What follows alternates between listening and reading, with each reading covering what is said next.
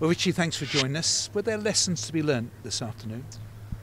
Um, I think if you look at the whole game, I'm quite happy with a point because we didn't play well from the first minute. Um, we was off it, but I think the biggest disappointment today was our body language.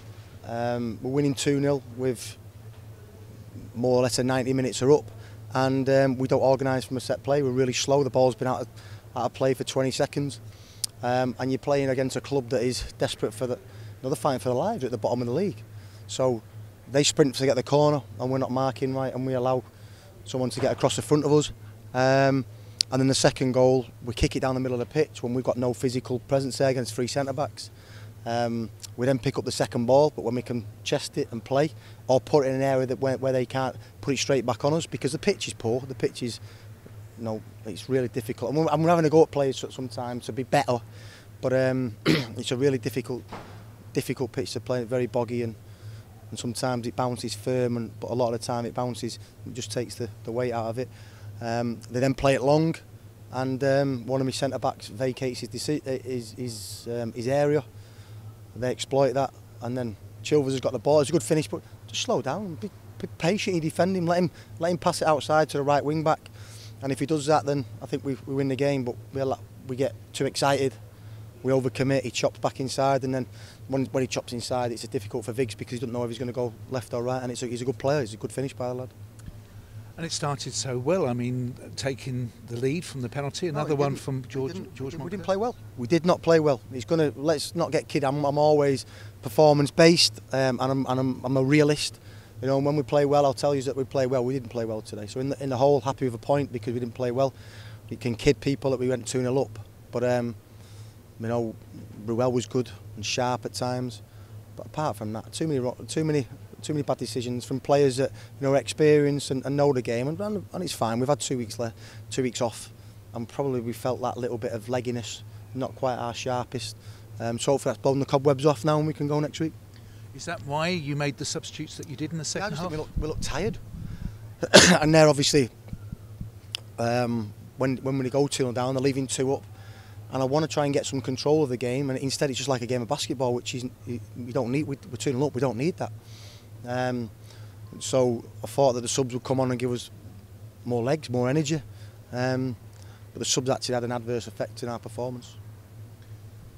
So what was the reaction in the changing room afterwards? We're eight unbeaten. Oh, listen, you can. It's it's a long season, and I've tried to be consistent in everything to say. Don't get. I, I, I walk around the supporters, and, and a lot of them are doing that. Keep your head up we're in a brilliant position. I wouldn't swap our position for anybody, so I'm definitely going to keep my head up. Um, it's important now that we don't get too disappointed. Two points dropped away, but we've had um, we've had games this this year where we've just held on and maybe not deserved the two points extra. So it evens itself out. It was we didn't play great, but um, I'm I'm kind of happy with the point. I would have obviously loved loved three points, but um, I think he, I think the most important thing was eight unbeaten now, and we're a tough team to beat. And it's such a competitive division. Uh, Crawley won today, and of course Hartlepool picked up results recently, and it's up to the North East next week. Yeah, um, I actually watched that game because that was the one o'clock kickoff.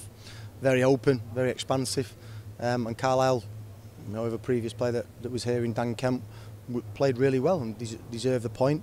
At times he could have made more chances against Bradford and and um, and actually took the three points. But Bradford a threat and Andy Cook scored two, and um, obviously he's a, the highest goal scorer in the league. But um, I'd rather concentrate on us, and some will go there. Hopefully, we, we need to give this pitch a rest because um, it's just we're asking players to, to do things that the, the pitch doesn't allow us to do, or allow the players to. And I feel I feel for him a little bit at times. And will Theo Archibald be available? Do you think for the trip to Hartlepool? Um, we're not sure. We're going to get him um, rescanned. We'll probably have. Um, an opinion on that probably Tuesday, and then we'll, we'll go from there. Theo's quite a freak in terms of he hasn't got an ACL. Okay. He's not got a brain cell. Well, he has a little bit. Well, he'll have you believe that he hasn't. Um, but we, we miss Theo's energy at times, but it seems a performance where we could have won the game. And when we play like we play, we look good, but we just didn't do it often enough.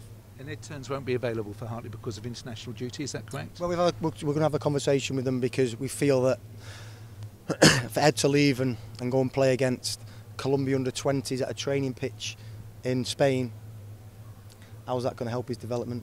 If it's a qualifier, then I, I get it. I get it. It'll be it'll be a good experience for him. But um, I think it's important he stays and he goes through what we're going through. And you know, there's always that risk if he does go and, and somebody comes in and plays really well, then obviously he might not get his place back. So um, we'll have a conversation with Wales and hopefully we should know the answer about that on Monday. And Jamie McCart, would he be available? He's back trained a week. We've got a friendly against Southend on Tuesday.